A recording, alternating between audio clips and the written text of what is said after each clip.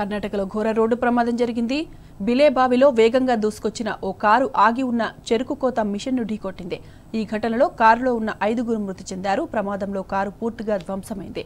ఘటనా స్థలంలో సహాయక చర్యలను వేగవంతం చేసిన పోలీసులు మృతదేహాలను పోస్టుమార్టం నిమిత్తం బాగేవాడి ప్రభుత్వ ఆసుపత్రికి తరలించారు. యాదగిరి నుండి తిరిగి వస్తుండగా ఈ ప్రమాదం జరిగినట్లు తెలిపారు.